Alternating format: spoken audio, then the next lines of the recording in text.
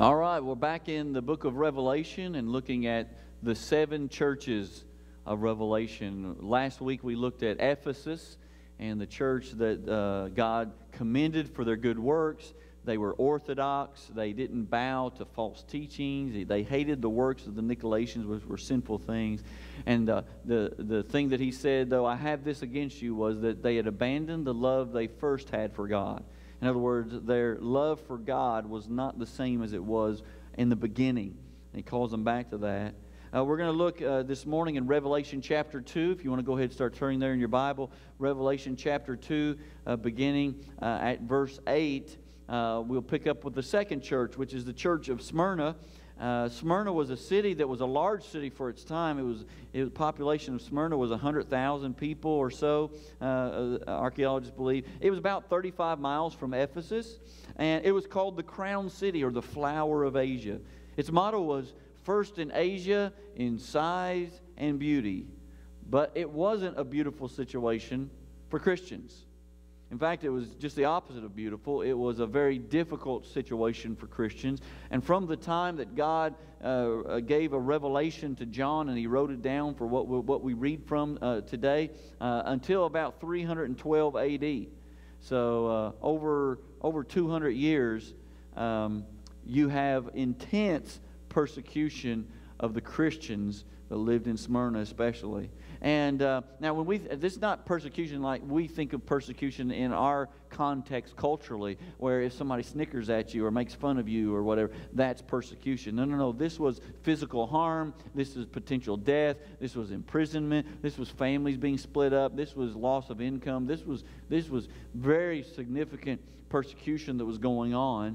And uh, another thing to note about Smyrna, we'll read it in just a moment, but, but there, it's unique from all the other seven churches that are addressed because they, uh, the church in Smyrna is only commended, it's not rebuked. Every other church is corrected or rebuked because of something. So, for example, last week in Ephesus, we talked about he, he rebuked them. He said, I have this against you that you've lost the love. You've abandoned, I'm sorry, abandoned or left the love you had in the beginning.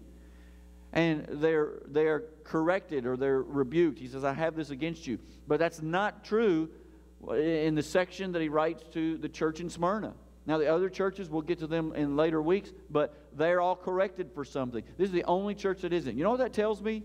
A church that's persecuted, but doing, doing no, nothing wrong that needs to be corrected. That tells me that you can believe right, you can do right, you can act right, you can think right, you can have right relationships with other people and with God, and you can do everything in obedience and submission to the Lord, and you can still suffer.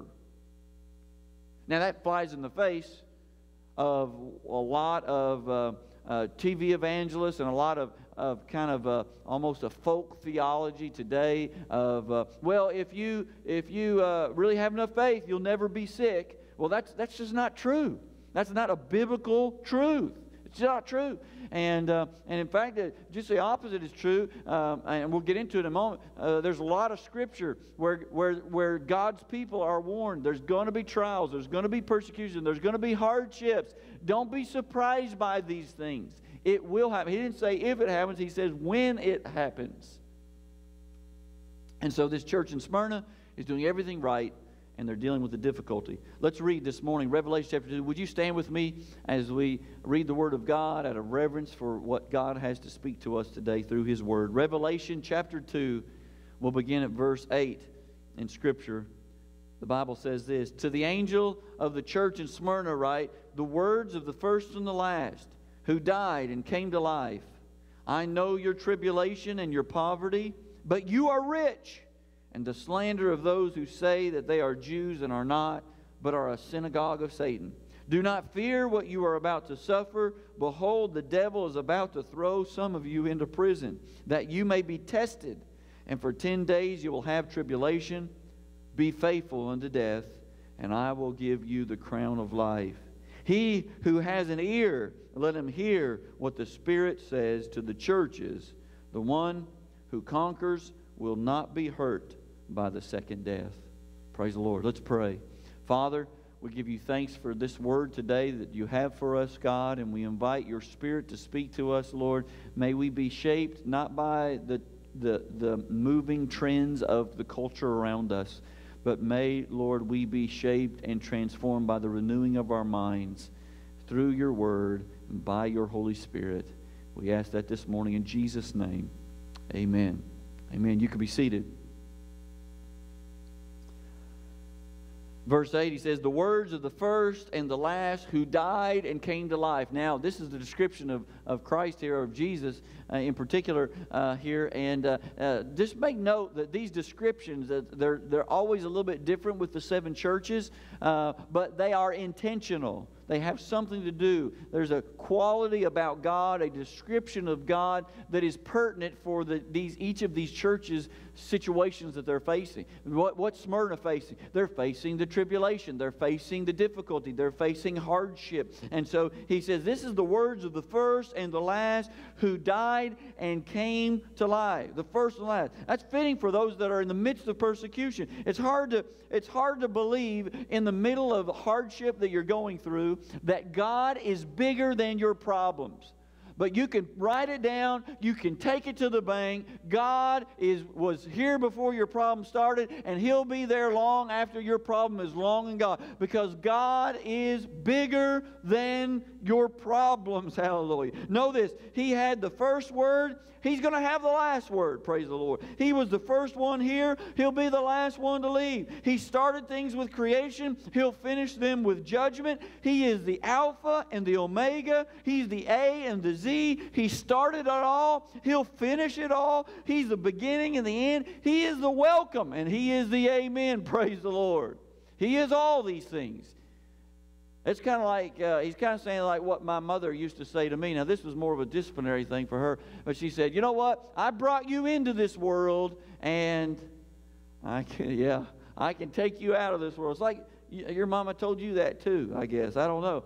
Uh, but that's the idea. That's what God's saying. But He's not saying it uh, toward, toward the people of Smyrna. He's letting them know this is to your problems. This is to the conflict that you're facing. This is to those things that are opposing you spiritually and maybe even physically and every other way. I, will, I was here long before those things arose, and I'll be around long afterward. I am the consistent factor in your life. So, church at Smyrna, yes, you're going going through hardship. Yes, you are persecuted, but God will be there through it all. He says, Who died and came to life. What's that referencing? It's the resurrection. Hey, I want you to know something. There's a lot of people I don't care to be on my side. I don't necessarily want them with me, and I'm, eh, when I'm in a fix. But there are some, and I want the people with the power. And he says, I am the resurrection, the one who died and has come back to life. Praise the Lord. I want the God of resurrection power to be in my corner. I want that God to be behind me, moving in my life, working through me, uh, seeing me through the difficulties that we're facing. Uh, scripture uh, makes lots of reference that even the enemy of death, and Paul writes to the church at Corinth in chapter 15, he says, Where, O death, is your sting? Where's your power? You don't have what you used to have. Now, there's a lot of people who live in fear of death. But I want you to know something as one who has been born again by the, by the, of the Spirit of God, who's walking with God in the fullness of relationship and in righteousness and in holiness. I want you to know something. You don't even have to fear death. You may be uncertain about what it's going to feel like, when it's going to take place. There's a lot of uncertainty maybe surrounding it, but I want you to know something. You don't have to live in fear of death. When you're walking with God, you can know that the one who was dead but is now alive is walking with you. And that same resurrection power is moving in your life. Christians of Smyrna, hear this. Even if this persecution leads to your death, you be faithful unto death because we serve a God of resurrection power. You'll get the crown of life. Praise be to God. And the Romans certainly tried to stamp it out. Do you know everywhere the church is persecuted, it grows more? In fact, the United States, where we have the most freedoms of any, any, any Christian in any time almost, in any place in the world, uh, we have all kinds of freedoms to worship the Lord, to live for Him, and to serve Him. And and to honor him. And with all those freedoms, you know, the church in the United States is, is dwindling. In other words, it's in decline. Everyone's saying, no, no, less people are going to church now and, and all these kinds of things. But I want you to know something. That's because we're not dealing with persecution. But I'll tell you, there will come a day when the church, even the United States, is going to have to deal with persecution. And don't be afraid of it. Don't live in fear of it. No, I don't want to be persecuted either. But don't live in fear of it because when that day comes, I want you to know something. There's going to be a revival in the land. God's going to move afresh and anew, even in the midst of persecution. And this is what's going on in Smyrna, this city of, of around 100,000 people, a huge city of its time. There's revival taking place in a church, even though the people are persecuted, even though there are some who would want to stamp them out. Praise the Lord. These people were willing to pay the price. Verse 9, uh, God speaking to them says, I know your tribulation and your poverty, but you're rich, and the slander of those who say that they are Jews and are not, but are a synagogue of Satan. Now, this word tribulation is an umbrella term for persecution of all kinds. But the word tribulation literally means pressure. In other words, they were living with a day to day pressure. They were dealing with ongoing resistance toward their walk with God. There's, you know, we think resistance is because we get too busy. No, that's just because you don't make time. You will make time for what you care most about. Do you hear what I'm saying? You will always make time for the things that matter most to you. You'll make time for those things. And and this tribulation that these people are dealing with pressure. Uh, we don't we don't really fully comprehend or we don't understand. They were willing to pay the price to be faithful to Jesus Christ. It might have affected them economically or financially because they were in prison. You can't run a business from prison. You can't plant your crops when you're in prison. Uh, you can't pay your bills if you keep getting fined. You can't go. You can't go to work if they've cut your hand or your foot off because uh, you're serving the Lord or whatever the case may be. And so it's affected them. But Jesus said, "Hey, even though you're, uh, you're you know, you're poor, you know, you're dealing with poverty now. You're suffering because you're dealing with the tribulation and the pressure that, the, that, the, that Smyrna and uh, the government or the people and the culture is putting on you. You're, you're poor. But he says, But I know you are rich. You have what counts. You have what really matters. You have it all. What, I'm, what he's trying to say here is hey, I don't care how much money you've got in the bank. If you got all the money in the bank, but you don't know what it means to consistently hold to Jesus Christ and walk with him in life, you know what real poverty is. And you might not have anything in your bank account. Your car might be some beat up clunker that's barely running. You don't know how you're going to pay your electric bill sometime, and you might be uh, going through difficulties in those kinds of ways. But if you are in Christ, if you are living in obedience to Him, you have wealth the world does not understand. The world could never know. You can have nothing, but you can have more than Bill Gates. You can have nothing, and, and you can have more than all the famous people of the world. Praise God. There is something enriching about knowing and walking with Jesus. Praise the Lord. I don't, I don't want to live the life of people I see around me. Oh, so many people want to dress and act and live like these Hollywood stars, and, and they're, they're dealing with brokenness and broken marriages, and they can't stay married for any amount of time, and broken family, and drug addictions, and the suicide rate among the wealthy like them and the famous is so much higher than the average person. And why do we keep gravitating toward that lifestyle? Why do we keep wanting what they've got? They don't have anything. They are living out of their own spiritual poverty. But we that are in Christ Jesus have richness and fullness that the world may not understand, but they desperately need. They desperately need. And I want something that's real and lasting. We who are who have Christ are rich in Him. Uh, and then he says they're even slandered by their religious brothers. There's some, he said, you know, there, there's some that, that claim to, to, to, to be of the uh, Jews, and, and, uh, but they're really a synagogue of Satan. Man, that's a strong, that's strong language. he's saying, hey, you're going to be attacked by people. Let me tell you something. When you get serious about God, there's going to be even some people, maybe in the church. Lord help us, not to, may it not be us.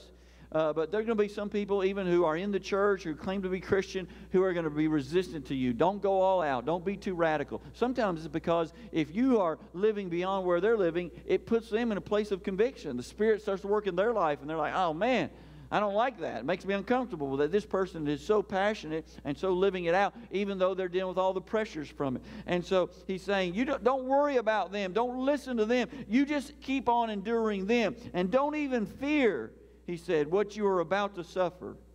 Don't fear it. There's a lot of there's a lot of Christians who spend too much time in life fearing things that may never happen anyway. And he said, Don't fear the persecution. Because when you fear it, it becomes a focal point in your life. The things that you fear become central to your life. They always do because it shapes patterns of your life. If you're afraid of the dark, for example, when I was a kid, I was afraid of the dark. If you're afraid of the dark, guess what? It's going to affect when you're out walking and it gets to be evening, it gets to be a little darker, or things that have and, and all that kind of stuff. And he's saying, don't fear this persecution, or it will become central to your life. It'll become the focus of your life. This is not something foreign either, uh, because 1 Peter chapter 4, verse 12, he, he, tells the believers, Beloved, do not be surprised at the fiery trial when it comes upon you to test you as though something strange were happening to you. Don't be surprised. Don't let it throw you off your game you be consistent with the Lord. 1 John chapter 3, verse 13, he says, Do not be surprised, brothers, that the world hates you. Don't be surprised. Well, I thought when I began to serve the Lord, everything would go right, everything would be fine. Well, you thought wrong. And here it is. He says, Don't be surprised when things go wrong in your life. Don't be surprised when difficulties come. They're going to come. What makes us different is not the circumstances that we have to face all the time as Christians, because the, the, the, rain falls on the just and the unjust. The sun shines on the just and the unjust. These things happen to, to good people as well as bad people. But what makes us different is that we are foundation on something that is lasting and sure and true and eternal. That is Jesus Christ our Lord. So Paul writes to Timothy, he says in 2 Timothy 4 7, he says, I have fought the good fight, I've finished the race, I've kept the faith. Hallelujah. Sounds really familiar to verse 10 where we read, where he says, Be faithful unto death, and I will give you the crown of life. That's the real wealth right there. We must be faithful to the Lord. We must be faithful to His Word. We must be faithful to the body of Christ. We must be faithful to the commission that Jesus gave to us before He ascended back into heaven go and make disciples of all the nations, baptizing them in the name of the Father and the Son and the Holy Spirit. We've got to be faithful to these things. We're running a race and we're going to have opposition, but we're not going to stop. And then verse 11, he says, The one who conquers will not be hurt by the second death not be hurt by the second death. Now, now think again. These, these believers were facing death. It was like, hey, you might have to face death. You might have to travel through that, that, that journey, through that valley of, of the shadow of death. You might have to go through that valley, and it might be sooner than you anticipate. And it may be that you your life ends through uh, because of unnatural things that take place, not because you get old and sick and die, but because uh, you stand for the faith. And you might face those kind of things. But if you are faithful, I want you to know the second death isn't going to harm you. What's the second death? The second death is hell after this life is over, oftentimes in the Re- Revelation, other places, hell is referred to as the second death. They're cast into the sea of fire where they experience the second death. And what he's saying is, hey, you know this. If you're faithful and true, no matter how hard this life gets, if you're faithful and true, you'll be with Jesus in heaven one day. The one who is dead but is now alive, you'll be with him. He's the one who is the Alpha and the Omega. You'll be with him. In other words, church, they can take your wealth, they can take away your family, they can take away your job. They can take away your house. They can take away your car. They can take away everything that you own. They can take away all kinds of things, your reputation and uh, all the things, your friends. Everything can be stripped down away from you. But there's one thing that no one can take away, and that is your relationship with Jesus Christ. And that relationship is what really makes you wealthy. So invest in it, focus on it, keep it at the center of your life. You can take away everything else, but you can't take away Jesus from me. Amen. We used to sing a lot of songs, more, more often songs about getting to heaven one day. You remember the song, When We All Get to Heaven? when we all get to heaven, what a day of rejoicing that will be. Yeah, praise the Lord because we're excited. Now, what I'm afraid of is in the time in which we live, man, I've got a La-Z-Boy now. I'm not like the church in Smyrna. I'm not suffering. I'm not, there's no persecution. Nobody's threatening my life because I'm serving. And I've got a La-Z-Boy. I'm not really interested in going to heaven because I've got my chips and my TV and my La-Z-Boy, and I've got everything I need right here and right now. And what, what he's saying is, then maybe you're missing what was of real value in your existence because that ain't your La-Z-Boy. It's not your comfort. It's not the ease of life life. It's not the luxuries that we have all around us or the, the blessing of material things that maybe even God has given to us. But the real wealth of life is knowing the resurrection in the life. The real wealth of life. You want to be rich. You want to be more wealthy than everybody else in the world. And the richest, uh, the Forbes 100 most rich people, then know Jesus Christ in his fullness and know what he desires to do on your life. And so I challenge you today Press on. Press on toward the prize. You can make it through the difficulty. You can make it through the hardship. You can make it through the things that are going on in life if you hold to Jesus Christ as the anchor of your soul. And you'll come, on, come through it, not as people of poverty, spiritual poverty, but of people that have the assurance of the wealth of knowing Jesus as Lord and Savior of my life. That's worth having. Would you stand with me today? Would you stand?